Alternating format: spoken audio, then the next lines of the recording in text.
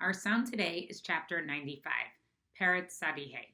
This chapter is very famous because it is the first chapter of Kabbalat Shabbat, the joyous prayer that we say to welcome the Shabbat Queen every Friday night.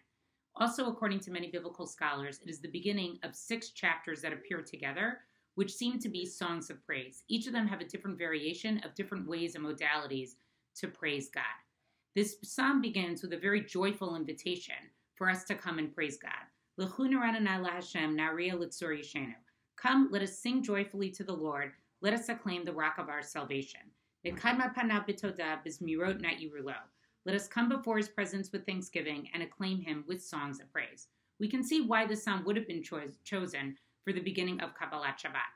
The next few verses then describe many different ways where we can see God in this world and praise him, whether it's in the mountains or the seas, but that God is seen all throughout nature. Finally, there is a personal invitation in verse uh, 6 and 7. Bo nishtachave v'nichorah nivracha lifnei Hashem osenu. Ki hu Elokeinu v'anachnu amarito v'tzon yado hayom, hayom im b'kolo tishma'u.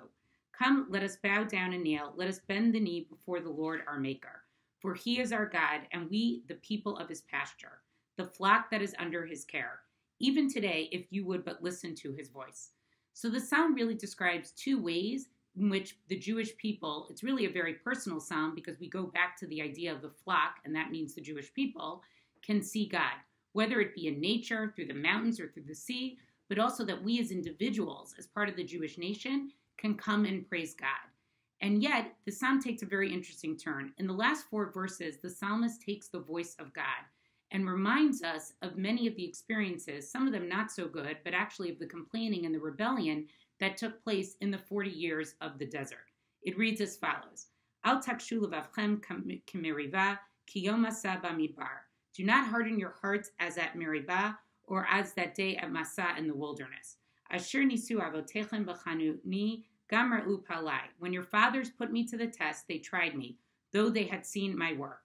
Arba'im shana akut bedor va'omar am to'e levavhem v'hem lo yadu dorachai.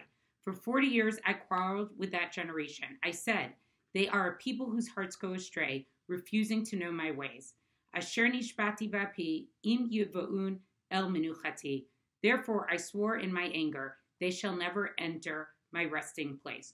Why does the psalm that begins so joyfully end really on not such a nice note? Actually, the reminder that the generation that left Egypt and eventually spent 40 years in the desert actually was not allowed or didn't merit to coming into Israel. And I think that the psalmist is trying to teach us a very important lesson. What we see from the experience that the psalmist is describing is that there are different ways to see and praise God, whether it's in nature or whether it's our personal relationship. The experience that the Jewish people had in the desert really was sort of the fusion of both of those together. Here they were in the wilderness, in God's nature, and yet, God took care of every single one of their personal needs, right? They had water, they had food when they needed it. And yet, at the same time, the Jewish people still rebelled. And so, in a way, even though there's an invitation that we can always praise God, the psalmist is sort of warning us at the end. And is telling us again don't forget, always look around the world with awe, see where you can always praise God, and don't be like our forefathers who, even when they were in the closest relationship that they could be with God, they were in nature and all of their personal needs were taken care of. They still rebelled against God. And so, in a way, it's reminding us that even when we come to praise God, we still need to remember what some of our tendencies are as a Jewish people. So, I'm going to do two melodies, uh, traditional melodies that is normally sung uh, as we welcome in uh, the Shabbat with his Kabbalat Shabbat melodies. Uh, the first one is Nusach or Nusach. And the way I try to define nusach is that nusach is uh, specific designated melodies for specific times uh, over the course of the year uh, for specific tefillot. So Shabbat has its own nusach or nusach. Rosh Hashanah, Yom Kippur, Chagim have their own uh, individual and unique nusach.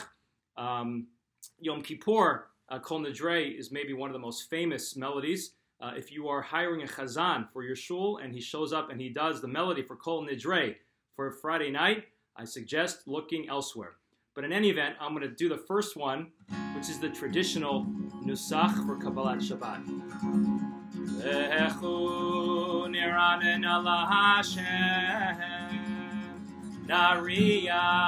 Litzur Yisheinu Arbaim Shana Kut Vidor Velmar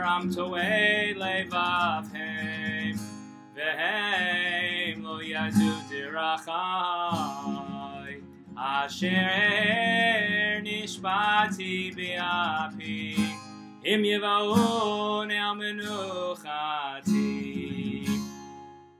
The next one is another common melody that people do.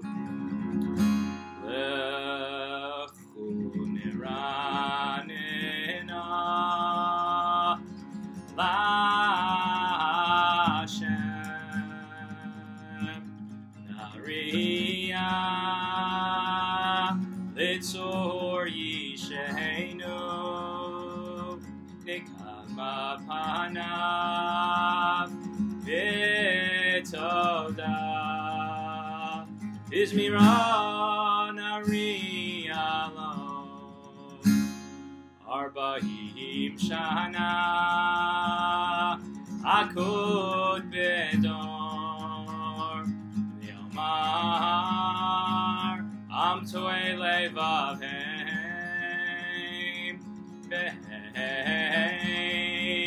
Lo Yadu Derachai Asher Nishpati V'api Im